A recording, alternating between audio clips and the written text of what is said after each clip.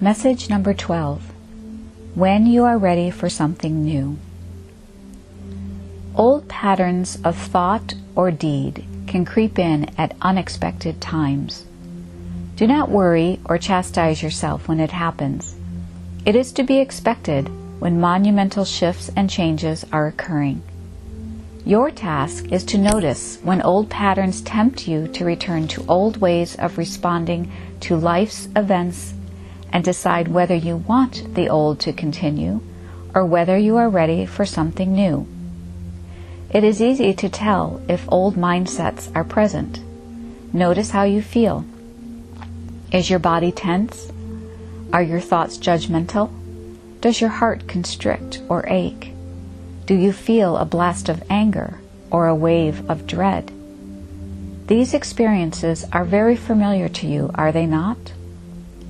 Familiarity is how you know if you are engaging in old patterns of thought and deed. You know this story, and you know how it ends.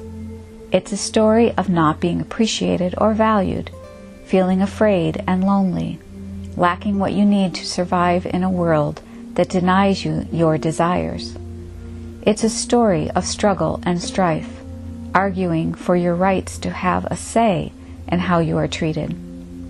And it ends with either failure or momentary success but at the cost of your peace and absence of love.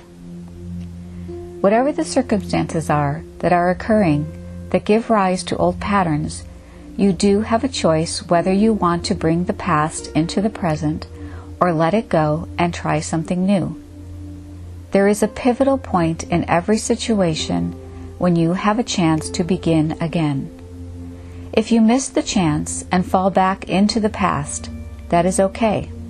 At any moment, when you no longer want to experience the familiar patterns, you can make a different choice. Simply say, I no longer want to experience this old story.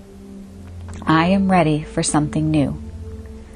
This response opens your mind to receive new understandings or solutions to whatever is confronting you. Do not negate simple instructions or slight changes in understanding the simplest of changes can result in monumental changes. You have set this change in motion by your willingness to experience something new. In this way, it can be said that you are the great catalyst to change. You must understand, however, that little is required of you to bring about these changes. Otherwise, familiar guilt will creep in and send you back into the past. If guilt arises, it is not a problem unless you insist on handling it in the old way. Simply return to your request to experience something new. Refrain from analyzing what brought you back to the past. Analysis states that you have done something wrong, and there is nothing wrong. There are old experiences and new experiences. Decide if you want to keep the old based on how you feel. You deserve to feel joyful, peaceful, and loved. If your old story did not contain these experiences, then it's time to let it go and try something new. End of message.